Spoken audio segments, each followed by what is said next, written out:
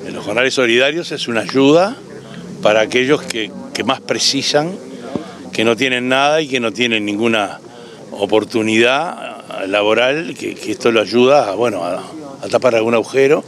¿eh? Y el programa de jornales solidarios, que fue un tema que Maldonado hace casi 20 años que lo está llevando adelante, eh, ha sido siempre una ayuda, ¿no? A cambio de, eh, no, no, no te doy la, plata, sino te la cambio por un poco de trabajo que es más digno y lo que la gente quiere además, ¿no? y los vecinos contentos con eso. Este, ahora logramos que ese proyecto esté a nivel nacional, ¿eh? fue aceptado por el Congreso de Intendentes y llevado a nivel nacional, ya va a ser, creo que son tres años que está ocurriendo a nivel nacional, y este, parte, decir, parte de ese proyecto lo financia el gobierno nacional y nosotros complementamos, le agregamos un 20% más. Nosotros podemos incrementarlo en un 20%. Así que para Maldonado hay 500 y algo para repartirlo entre todos los municipios.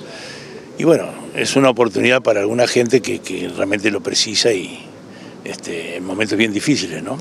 Nuevamente un plan que es nacido en Maldonado, que hoy es ley, que está en todos los departamentos y que le viene bien a muchas familias y también es buena cosa porque las cuadrillas municipales se pueden organizar de mejor forma, pueden llegar mejor a otros lugares y hacer una tarea de mantenimiento, de puesta a punto de espacios públicos, eh, pinturas.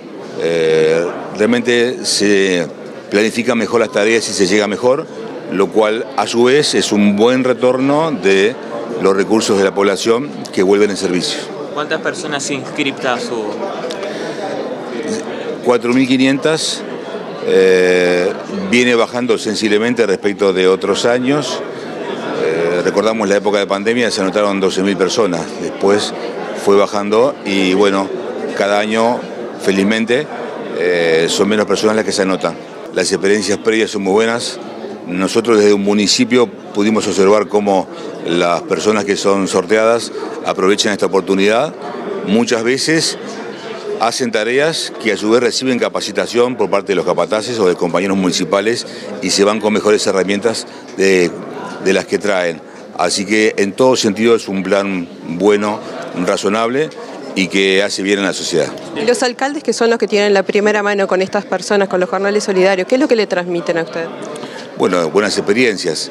Ellos están esperando que la nómina les llegue para planificar con los capataces en las diferentes áreas. Eh, a su vez los municipios ven, fortalecida el, funcionamiento porque hay vecinos de esa localidad que están contribuyendo muchas veces con buenas prácticas que ellos tienen, con oficios que ellos quieren eh, realizar, llevar adelante, así que en todo sentido es una buena cosa. Siempre lo estamos esperando porque es personal que se suma principalmente al área de limpieza. Eh, todos los años, como quien dice, eh, hacemos una puesta a punto con Jornales Solidarios y preparamos lo que va a ser la próxima temporada. Así que es muy esperado, no solo acá, sino que en todos los municipios. Por suerte se coordina con las diferentes alcaldías y las diferentes cuadrillas de todo el departamento, justamente para que este personal sea abocado principalmente a todo el tema y tareas de limpieza. Intendencia de Maldonado. Construyendo futuro.